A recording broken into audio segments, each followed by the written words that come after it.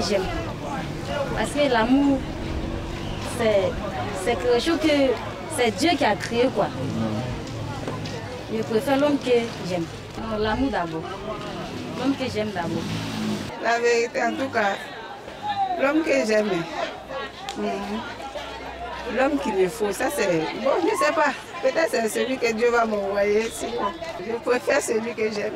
Mais celui qui a son argent, je ne sais pas où il, a, où il a acquis ça? Donc je veux être avec celui que j'aime et puis on va acquis ensemble. Voilà, c'est ça. L'homme que j'aime. Et tout pourquoi? Pourquoi? Parce que l'homme que, l'homme que vous aimez, c'est l'homme qui vous comprend, qui, qui vous aime, qui est attentif avec vous. En tout cas, un peu de tout ça quoi. Voilà, selon moi en tout cas.